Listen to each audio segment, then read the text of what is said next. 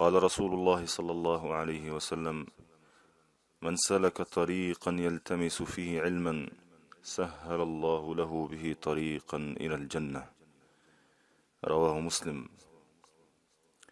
لقزنت أبو هريرة رضي الله عنه بغشتة دستقزنت الله صلى الله عليه وسلم gesagt wer ein Weg einschlägt, um nach Wissen nach, um nach Wissen zu erlangen, dafür wird ihm Allah subhanahu wa ta'ala einen Weg ins Paradies erleichtern. Ich wiederhole noch einmal die ungefähre Bedeutung. Das heißt, der Prophet sallallahu alaihi wasallam sagte, wer einen Weg einschlägt, um nach Wissen zu streben, Allah wird ihm subhanahu wa ta'ala einen Weg erleichtern ins Paradies. Das heißt, die Person, die unterwegs ist, um nach Wissen zu streben, sei es jetzt zu Fuß oder auf irgendein Transportmittel, unterwegs für Allah subhanahu wa ta'ala, um nach Wissen zu streben. Ein Beispiel dafür, wenn jemand sein Haus verlässt, um in die Moschee zu gehen, dort wo Ulama sitzen, Alhamdulillah Rabbil Alamin, wo Wissenskreise vorhanden sind in diesen Moscheen. Dafür erleichtert ihm Allah subhanahu wa ta'ala einen Weg ins Paradies. Und wenn jemand, es muss nicht nur in die Moschee sein, wenn beispielsweise Brüder untereinander oder Schwestern, wenn die untereinander sind, wenn die sich treffen in der Moschee oder in, in ein, irgendjemand von seinem Zuhause, um nach Wissen zu streben. Und die Person verlässt sein Haus, um dorthin zu kommen, um diese, sich diese Leute anzuschließen, um Wissen zu erlernen, inshallah Rabbil Alamin. Allah subhanahu wa ta'ala erleichtert ihm für diesen Weg, den er eingeschlagen hat, einen Weg ins Paradies. Dies ist die Gnade Allah subhanahu wa ta'ala. Oder wenn jemand beispielsweise vom Land zu Land verreist oder von Stadt zu Stadt mit der Absicht, inshallah Rabbil Alamin, Wissen zu erlangen, Wissen zu erlangen, welche ihm im Diesseits und Jenseits Nutzen bringt, inshallah Rabbil Alamin. Für diesen Weg, den er eingeschlagen hat. Allah subhanahu wa ta'ala erleichtert ihm einen Weg ins Paradies. Und es ist bekannt, dass Jabir ibn Abdullah radiyallahu an ein Monat lang unterwegs war auf sein Kamel zu einem Sahabi namens Abdullah ibn Unais radiyallahu an. Nur wegen einem einzigen Hadith. Nur wegen einem einzigen Hadith. Der Hadith ist vielen bekannt. Der Hadith, dass die Menschheit Yawm al-Qiyamah nackt, barfuß und unbeschnitten vor Allah subhanahu wa kommen werden und auferstehen werden. So dass Aisha sagte, Ja Rasulallah, Männer und Frauen nackt. Aisha radiallahu anha macht sich Sorgen darüber, Yawm al-Qiyamah, dass die Menschen sich gegenseitig, A'udhu billah, nackt sehen werden. Daraufhin sagt der Prophet Muhammad sallallahu alaihi wasallam, die Angelegenheit ist schlimmer, ja Aisha. Es ist so hart, es ist so schlimm, Yawm al-Qiyamah, dass die Menschen gar nicht mehr darauf achten, ob sie nackt sind oder nicht. Das heißt, sie haben gar keine Zeit dafür, um andere anzuschauen, ob sie was anhaben oder nicht, weil die Sorge sie überwältigt, weil die Angst sie überwältigt, Yawm al-Qiyamah. Es ging um diesen Hadith. Jabir ibn Abdullah machte sich auf den Weg einen Monat lang. Es dauerte einen Monat lang, bis er dort ankam und fragte nach dem Hadith und sagte, als er dort ankam, sagen die Ulama, er ist noch nicht mal äh, reingegangen bei Abdullah ibn Unais, sondern Abdullah ibn Unais schaute von, vom Fenster heraus und hat sich gefreut über die Ankunft von Jabir ibn Abdullah radiallahu an. Aber Jabir radiallahu an wollte nicht reingehen, er wollte nur sich vergewissern, ob Abdullah ibn Unais diesen Hadith von, von Rasulullah sallallahu alaihi wasallam gehört hat oder nicht. Und der Sahabi Abdullah ibn Unais bestätigte den Hadith. Und dafür ist er einen Monat unterwegs gewesen. alhamd. So waren die Sahaba. Und für diese einen Monat Reise, Allah wird diesen Sahabi einen großen Weg, inshallah, ins Paradies erleichtern. Bi'idnihi azza wa jal. Aber es ist nicht der einzige Weg, um nach Wissen zu streben. Allah subhanahu wa ta'ala hat uns heute, Alhamdulillah, so viele Möglichkeiten gegeben. so viele Mittel zur Verfügung gestellt, Azza wa Jal, um nach Wissen zu streben. Eigentlich Allah subhanahu wa ta'ala hat uns damit den Weg ins Paradies erleichtert, inshallah. Aber es liegt nur an uns selbst, wie sehr wir uns sehnen nach dem Paradies und wie sehr wir uns wünschen, ins Paradies zu kommen. Denn das Paradies wird man nicht einfach so geschenkt bekommen, sondern das ist ein schwerer Weg dorthin. Es ist ein langer Weg, es ist eine lange Reise, die uns bevorsteht, damit wir inshallah dorthin kommen. Aber Alhamdulillah, Allah ist so barmherzig, dass er uns andere Wege ermöglicht, um nach Wissen zu streben. Beispielsweise, wenn jemand irgendwie durch Internet, indem er bei einem Alim zuhört, Alhamdulillah, und direkt von diesem Alim hört und lernt von diesem Alim, also Gelehrter, bi'idnillahi subhanahu wa ta'ala, oder wenn jemand beispielsweise ein Buch zu Hause hat, und wie faul sind wir oft, subhanallah, nur ein Buch aufzumachen, um nach Wissen zu streben, wenn es nur eine Ayah ist. Und, und wenn es nur ein Tafsir von einer Ayah ist oder ein Hadith von Rasulullah sallallahu alaihi wasallam. Heute sind viele beschäftigt mit Romanbüchern, billah, welche denen schaden werden, Yawm al-Qiyamah. Und kein sondern diese Bücher sind, billah, ein Weg für die Hölle, weil die dich ablenken vom Koran und vom wahren Wissen, welcher du verpflichtet bist, es zu lernen, bi'idnillahi subhanahu wa ta'ala. Das heißt, wenn jemand ein Buch aufschlägt, Alhamdulillah, um darin zu lesen, mit der Absicht etwas zu lernen, wodurch er, inshallah, Allah näher kommen kann, subhanahu wa ta'ala. Sei es, ein, sei es wenn, auch wenn er ein Urteil sucht in diesem Buch, auch wenn es er ein Hukum sucht, inshallah, über irgendeine Angelegenheit im Islam, er will es lernen und seinen Geschwistern, inshallah, Rabbil Alamin verkünden. Dafür erleichtert ihm Allah subhanahu wa ta'ala einen Weg ins Paradies. Auch du brauchst nur zu Hause zu sitzen. Du sitzt zu Hause, Alhamdulillah, es ist warm, es ist kuschelig, du hast eine Decke um dich herum, du hast Alhamdulillah deine Kinder um dich herum, deine Familie, du hast dein Essen. Das heißt, du musst dich noch nicht mal anstrengen, subhanallah, du brauchst nur kurz aufzustehen, das Buch zu nehmen, um es aufzuschlagen, um etwas zu lernen für Allah subhanahu wa ta'ala, etwas zu lernen, was dein Wissen vermehrt und was Alhamdulillah ein Grund sein wird, damit Allah für dich einen Weg ins Paradies erleichtert, bi'idnihi subhanahu wa ta'ala. Das heißt, so einfach ist der Islam. Alhamdulillah, Rabbil Alamin. Jeden Tag, und wenn es eine halbe Stunde ist, ein Buch aufschlagen und etwas lernen.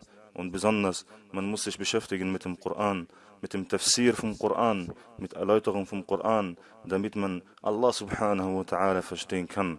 Und das versteht, was Allah subhanahu wa ta'ala sagt. Und dann kommt eine zweite Stelle, die Hadithe des Propheten Muhammad sallallahu alaihi wasallam, denn das beste Wissen ist Koran, und dann kommen die Hadithe von Rasulullah sallallahu alaihi wasallam. Und wenn du beispielsweise in der Moschee bist und plötzlich ist ein Sheikh dort und du setzt dich zu diesem Sheikh, subhanallah, rabbil alamin, du stehst auf von deinem Platz, du brauchst nur ein paar Schritte zu machen und du setzt dich vor dem Sheikh hin mit Adab, diszipliniert, alhamdulillah, mit Bescheidenheit um zu lernen, inshallah. Du stellst auch nur eine Frage und wenn der Sheikh diese Frage beantwortet, das ist auch ein Weg ins Paradies, subhanahu wa ta'ala, weil du bist aufgestanden und diese Schritte gemacht, für Allah subhanahu wa ta'ala nach Wissen zu streben, um damit Allah dienen zu können subhanahu wa ta'ala, weil wir sind verpflichtet, Allah mit Wissen zu dienen subhanahu wa ta'ala und nicht durch Unwissenheit, wal billah.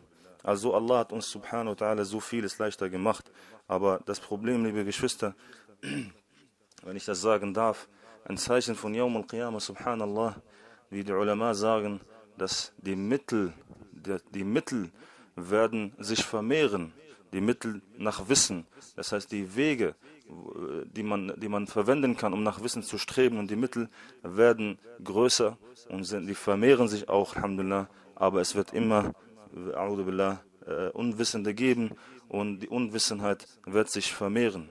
Das ist traurig. Das heißt, obwohl die Mittel zum Wissen größer sind und leichter sind, trotzdem gibt es viel Unwissenheit in der Ummah von Muhammad sallallahu alaihi wasallam und das ist gefährlich, Yawm al-Qiyamah von uns, denn die Mittel stehen zur Verfügung und sie werden ein Argument gegen uns sein, Yawm al-Qiyamah, wal billah. Da kannst du Yawm al-Qiyamah nicht sagen, ja Allah, ich konnte nicht dorthin verreisen und ich konnte nicht zu den Gelehrten verreisen. Alhamdulillah, heute braucht man nicht zu verreisen, sondern gibt es auch Möglichkeiten durch Internet zu lernen von richtigen Ulama, nicht von irgendeiner, der möchte gerne Alim sein oder möchte gerne Da'iyah sein, sondern jemand, der nach Koran und Sunnah lebt und nach Koran und Sunnah, Alhamdulillah, lehrt und Da'wa Allah macht subhanahu wa ta'ala. Diese Ulama, die Allah fürchten, Ahlul Hadith, die Leute, die Alhamdulillah Wissen besitzen und leben nach dem, was sie wissen, inshallah Rabbil Alamin, und lügen nicht über Allah subhanahu wa ta'ala. Also der Prophet sallallahu sagt in einem Hadith über die Zeichen von Yawm al-Qiyamah, dass das Wissen aufgehoben wird, wal billah, wa yakthurul jahl und dass die Unwissenheit sich vermehren wird. Also es liegt nicht darin, dass wir kein Mittel mehr haben, um nach Wissen zu streben. Nein, die Mittel sind genug, aber es liegt an uns, billah, unsere Gelüste und Dunya haben uns im Griff. Deswegen man muss sich schnell wie möglich, inshallah, Rabbil Alamin, von diesen Fesseln befreien. Und wir müssen schnell wie möglich nach dem Wissen streben, denn wir wissen nie, wann unsere Zeit zu Ende ist. Und das kann, liebe Geschwister, jede Sekunde sein, jeder Atemzug kann der letzte sein. Deshalb müsste man von seiner Zeit profitieren. Bi'idnillahi subhanahu wa ta'ala. Also wie gesagt, es gibt Leute, die können verreisen. Sie können, die haben die Mittel dazu, um zu verreisen, um nach Wissen zu streben. Und die anderen, die diese Mittel nicht haben, sie haben die Möglichkeit, Alhamdulillah, dort wo die sind, sei es zu Hause oder durch Internet auch zu lernen.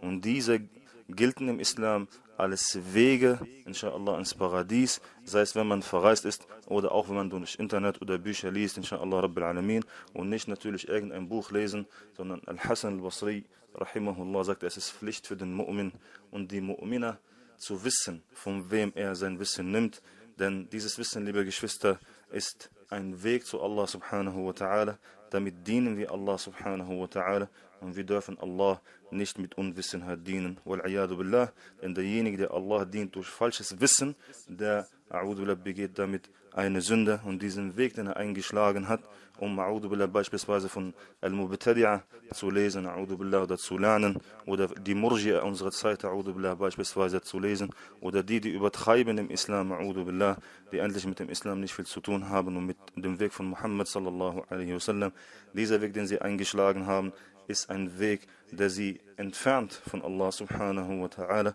und versperrt in den Weg zu Allah subhanahu wa ta'ala. Denn wir können Allah dienen azza wa jal so viel wir wollen, wenn es auf unsere Art ist. Das A'udhu Billah wird uns nicht Allah näher bringen azza wa jal. Deshalb sind wir verpflichtet, wie Ibn subhanahu wa ta'ala aufzupassen. Es ist wichtig, den Hadith auch richtig zu verstehen. Was bedeutet, dass Allah subhanahu wa ta'ala für uns, für den Weg, den wir einschlagen, um nach Wissen zu streben, oder eingeschlagen haben, um nach Wissen zu streben, Allah, dass Allah subhanahu wa ta'ala uns dafür einen Weg erleichtert ins Paradies. Dies bedeutet natürlich, wenn niemand das Wissen im Islam erlangt, das Wissen, wodurch er die Gesetze Allah subhanahu wa ta'ala versteht und wodurch er Allahs Worte subhanahu wa ta'ala besser versteht und bekommt Verständnis in der Religion, Alhamdulillah, und versteht das, was Allah von ihm verlangt, subhanahu wa ta'ala im Koran, und versteht auch die Hadithe von Rasulullah sallallahu alaihi wasallam, denn dadurch erkennen wir, durch das Wissen erkennen wir, was Allah subhanahu wa ta'ala von uns verlangt, azza wa jall, und was von uns verlangt wird. Und durch das Wissen erkennen wir Allahs Befehle subhanahu wa ta'ala und die Gebote, die im Koran stehen. Und wir erkennen auch das, was Allah verboten hat, subhanahu wa ta'ala. Natürlich, wir wissen, was Allah dann dadurch, wir wissen dadurch, durch dieses Wissen wissen wir, was Allah subhanahu wa erlaubt hat und was Allah verboten hat, subhanahu wa ta'ala. Und das Wissen allein reicht nicht aus, sondern es ist wichtig, nachdem wir es gewusst haben, dass wir danach leben, inshallah, indem wir das tun, was Allah subhanahu uns befohlen hat und unterlassen das, was Allah subhanahu wa verboten hat. Und durch dieses Wissen, liebe Geschwister, das Wissen wird für dich wie ein Wegweiser zu der Zufriedenheit Allah subhanahu wa ta'ala. Und natürlich die Zufriedenheit Allah subhanahu wa ta'ala ermöglicht den Diener jal ins Paradies zu kommen. Denn der größte Weg ins Paradies ist das Wohlgefallen Allah subhanahu wa ta'ala. Und der Erfolgreiche ist derjenige, der dies erreicht hat. Deshalb, je mehr du dich anstrengst, inshallah, um nach Wissen zu erlangen, um Wissen zu bekommen, inshallah Rabbil Alamin, desto mehr ermöglicht dir Allah subhanahu wa ta'ala, desto mehr ermöglicht dir Allah subhanahu wa ta'ala mehr Wege ins Paradies und erleichtert dir auch bi'idnillahi subhanahu wa ta'ala. Und diesem Hadith ermutigt Rasulullah sallallahu alaihi wasallam seine Umma, wassalam. Er ermutigt seine Umma, eine, eine großartige Motivation von dem Propheten Muhammad sallallahu alaihi wasallam, damit sie nach Wissen streben. Er erweckt in uns, Alhamdulillah, den Wunsch, nach, dem, nach Wissen zu streben, inshallah, Rabbil Alamin. Und wir merken heute, die Leute, subhanallah, dass die, sobald sie etwas mit, äh, von Dunya hören, das heißt, wenn man zu ihnen sagen würde, wer einen Weg einschlägt, um nach Wissen zu streben und wird so und so viel Geld äh, bekommen, dann werden die Menschen Tag und Nacht äh, sich dafür bewegen. Die werden Tag und Nacht alles dafür tun, um an dieses Geld dran zu kommen, welches vergänglich ist. Oder egal, es ist nicht nur Geld, sondern auch wenn es um eine Frau geht oder um weltliche Dinge, billah, man sieht die Gewissheit, die Überzeugung der Menschheit über die weltlichen Dinge, wie groß sie sind, billah. Sie sind mehr überzeugt über das, was sie sehen, als das, was sie erwartet im Jannah bei Allah subhanahu wa ta'ala. Aber hier geht es um Jannah, um geht es um ewige Wonne, ewige Zufriedenheit und ewige Jugend und ewiges Leben bei Allah subhanahu azza wa jal. Und das ist der höchste Lohn, den man erlangen kann bei Allah subhanahu wa ta'ala.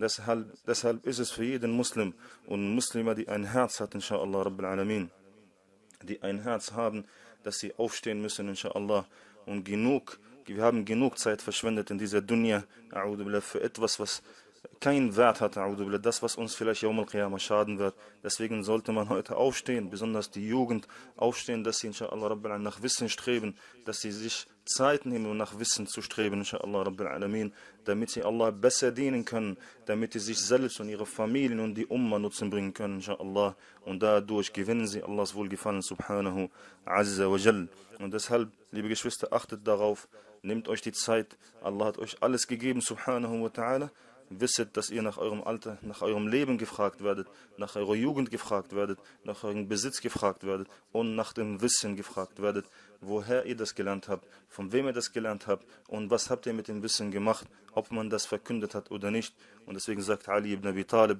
Al-Alimu la yakunu aliman rabbaniya, illa hatta ya'lama, thumma ya'mala, ويدعو ويصبر على الأذى علي بن أبي طالب sagt رحمه رضي الله عنه der Alim ist erst ein Alim Rabbani, heißt ein Alim, der die Fähigkeit besitzt, andere zu erziehen und Anweisungen zu geben. Erst verdient er diesen Titel, erst wenn er weiß, das Wissen besitzt, und handelt nach dem, was er weiß, und verkündet das, was er weiß, und erträgt mit Geduld den Leid, den, ihm hinzu, den, den, man ihm zufügt, durch andere und seine Feinde. Und möge Allah subhanahu wa ta'ala uns ermöglichen, uns nach Wissen zu streben. Möge Allah uns inshallah Verständnis in dieser Religion geben. A'lam subhanahu wa ta'ala. Subhanak Allahumma bihamdik. أشهد أن لا إله إلا أنت أستغفرك وأتوب إليك.